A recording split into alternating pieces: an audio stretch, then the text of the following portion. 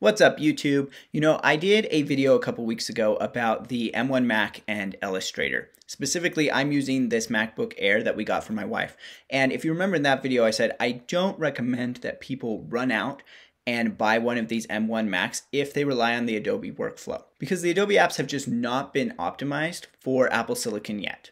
We don't know when they will be optimized. We know that the basic version of Lightroom, not Lightroom Classic, but the basic version is coming first, and then Photoshop next.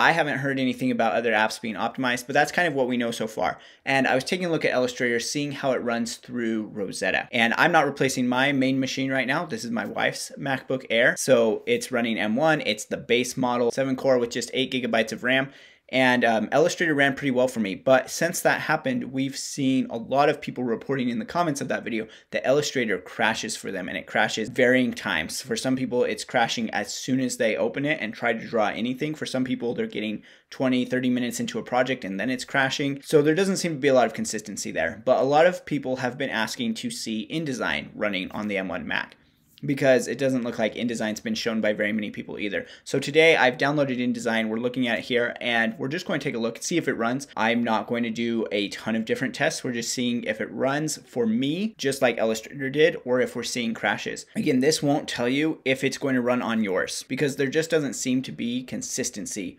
across the board on whether or not these things are running evenly. We're just going to take a look at it, make a document, put some text into it, um, get an image, put it, an image into it, see how it's handling those things, unless it just crashes right off the bat. So I've got it downloaded here on the Mac, and we're going to go ahead and take a look. I'm going to create a new document, and we'll just go with letter, just the standard thing. I'm going to switch this to inches, and then we'll click Create.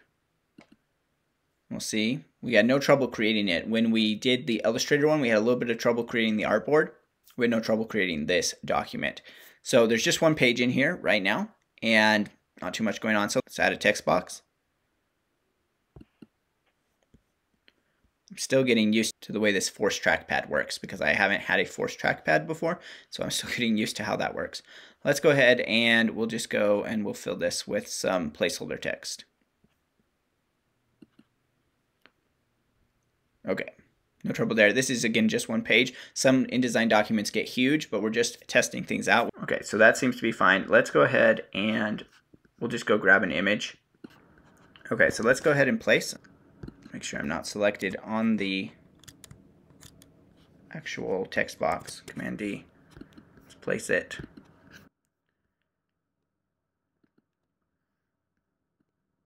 Okay, there is our tree. So not too much trouble placing the tree. Zoom in, see if zooming causes any issues. Zoom out.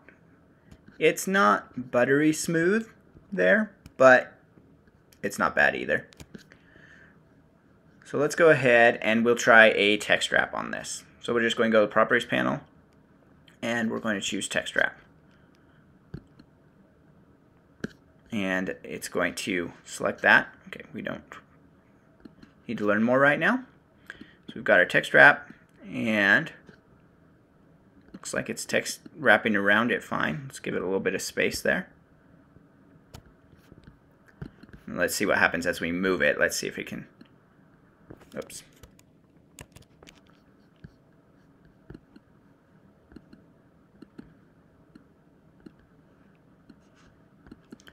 Looks like it's handling the reflow without a problem.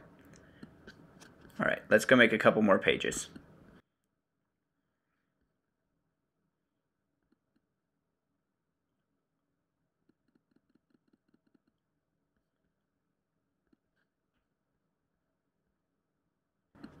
Doesn't seem to have a problem adding pages.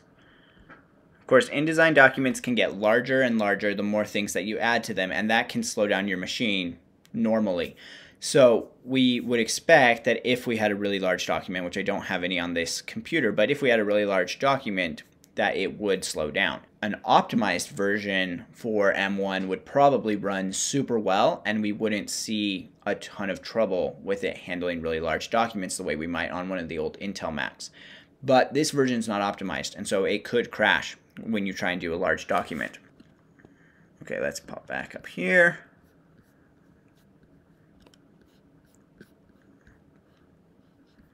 We can try making some text boxes.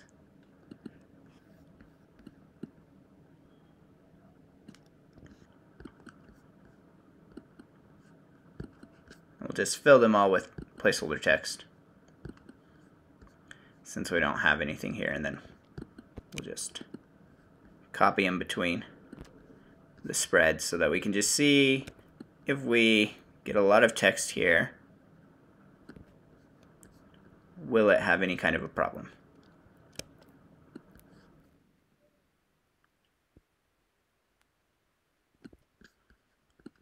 Doesn't seem to be having any kind of problem. Let's go ahead and come down here and we'll just try a couple of shape things. So let's try drawing a rectangle.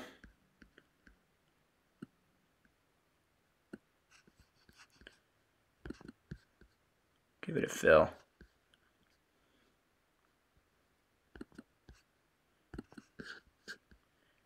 And a stroke. Just testing it out, just seeing if it works. Let's go ahead and grab an ellipse.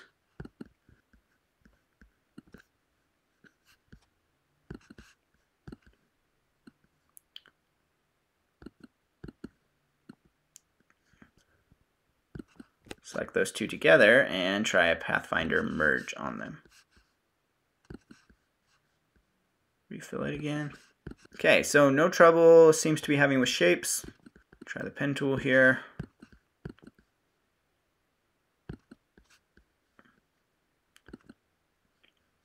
Try filling it with a gradient, see if that causes any trouble.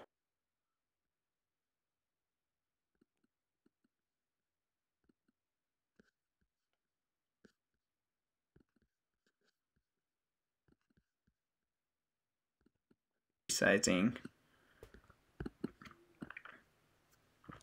Okay, no issues with shapes, text. Okay, let's try and add in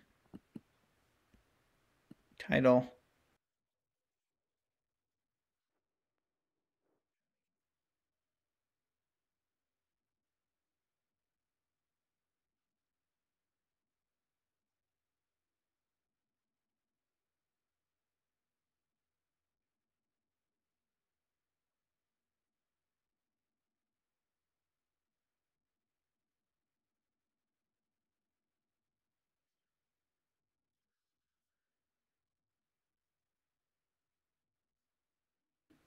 Change the color, change the stroke.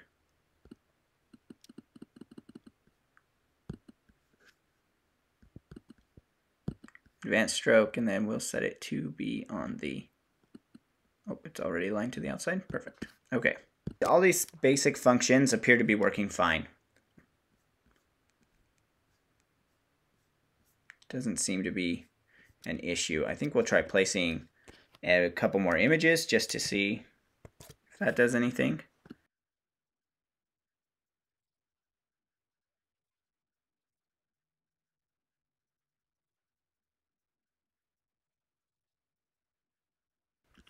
Okay, no hangups for me. Seems to be running fine. But Illustrator seems to be running fine too. And for a lot of people, what I'm hearing is that it's not running fine for them. And so I don't know. It could be that you come in here and you try and use InDesign and you make a 300 page book and it just crashes. Now, that could happen on an Intel Mac. So that's not necessarily to say that nothing will work on here. It certainly seems to be working for me as far as trying to perform the basic functions. So I don't know, maybe if I stayed on here for an hour or two, maybe it would crash, but I don't seem to be having any trouble with this one. But again, this is a MacBook Air with an M1 chip. It's got eight gigabytes of RAM. It doesn't seem to be having any problem with this. One last thing I think we'll try is we'll try switching to overprint preview. We'll just see if that does anything. These are not huge images. Large images might cause more of a problem rendering an overprint preview. Certainly the scrolling is a little bit choppy, but it was choppy before. I don't know if that's more choppy because of overprint preview. It does look a little bit smoother without it on. So that's about what we've got right now. It seems to be working.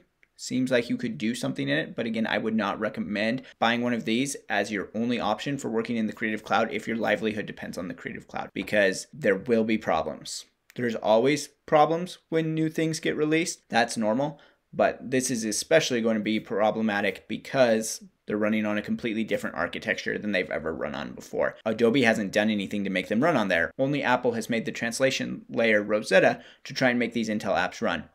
And some of them are running well, some of them are running well for some people, some of them are crashing for some people, some of them aren't running at all, depending on what apps you're using. All of the Adobe ones that I've seen tested and that I've tested myself seem to run sometimes on some Macs in some circumstances which is not very reassuring. So again, I think it's a good time to just sit back. If you want to try it out, if you have the money, if you need another laptop in addition to your main work machine or something, you could try it out. But I think now is the time for creatives to sit back and say, wow, these machines seem really powerful. They look really good, but I'm going to wait until Adobe's updated, until the next version, like the 16 inch MacBook Pro or the iMac. Sit back, wait for those to come. Maybe Adobe will be updated by that time and those are the machines that you really are probably looking for. Now, of course, the other option that I talked about in the video several weeks back is switching away from Adobe to other creative programs, which you can do. You can get Affinity that's optimized, you can get DaVinci that's optimized,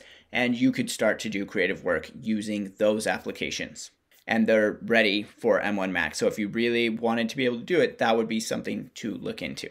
Okay, that's it for today. Thank you so much for watching. Go ahead and let me know in the comments what you think about this. And if you've tried running InDesign on an M1 Mac, go ahead and let me know if it's working for you, if it's not working for you, what you're seeing on your end. And let me know if there's other videos that you'd like to see from me. We'll chat in the comments and I will see you in the next video.